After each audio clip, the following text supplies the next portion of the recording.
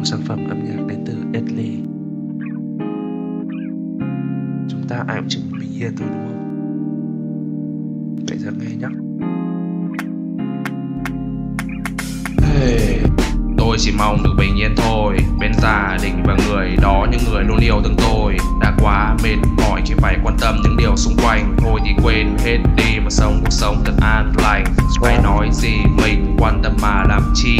Họ kỳ thị hay họ chế giễu thì hãy cứ kệ họ đi. Cuộc sống thị phi ở ngoài kia khiến chúng ta mệt mỏi. Nhưng nếu đã về tới nhà thì đừng bao giờ mang theo bộ mặt khó coi Bởi vì đây là nhà, đây là nơi của tình thương. Nơi tất cả mệt nhọc ta đã trải qua sẽ hóa tình bình thường. Đi ngủ một giấc và tỉnh dậy vào sớm mai. Thấy sức sống của ta như đã được bơm căng lại.